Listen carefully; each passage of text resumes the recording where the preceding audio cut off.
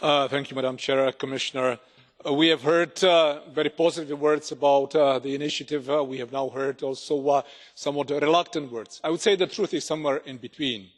It is an opportunity. The programme itself has certain elements which are relatively new. I think that definitely they cut the administrative burden already that is precedential for, let's say, other initiatives in the future.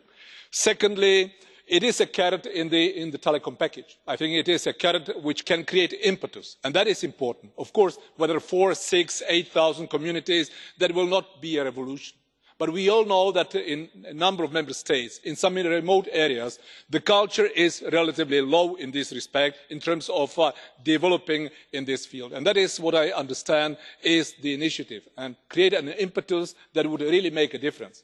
should i be a mayor of a village which has not applied and i see that in the next community they have applied and they have received a contribution and wi fi is being uh, uh, let's say engaged uh, well i might see people from my community suddenly leaving for the next village in the evening for entertainment whatever it is but there is an added value.